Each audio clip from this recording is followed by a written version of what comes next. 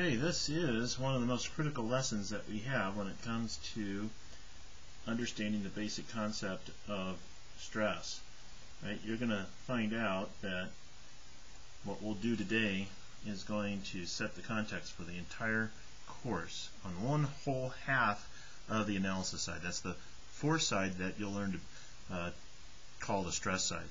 Right? So there are different scenarios and behaviors that will come along that will make us want to think about different types of stress. And the specific ones we're going to learn how to calculate today are the average axial, the average bearing, and the average or direct shear stress, as well as we'll look at some aspect of, well, okay, I can calculate this thing, but is that good or bad? And that good or bad is going to come to us through a model called the factor of safety.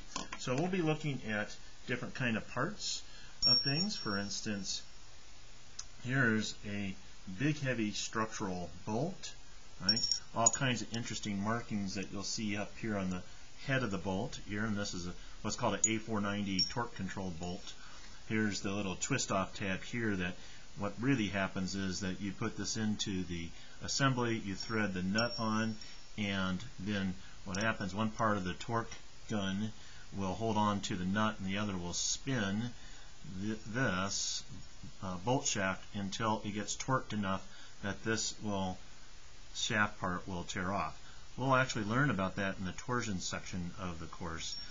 As, but right now we're going to focus on these three basic uh, conditions of stress and we'll have a couple of examples that we'll work through that are very uh, realistic. So get your uh, drawings of the Waddell A truss handy and available to you. Those will be uh, linked in at the uh, Canvas webpage, and away we'll go here.